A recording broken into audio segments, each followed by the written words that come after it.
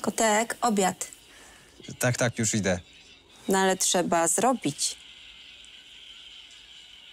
Wspólny obiad jest dobry. Mimo, że zawsze coś ciekawego leci światłowodem plusa.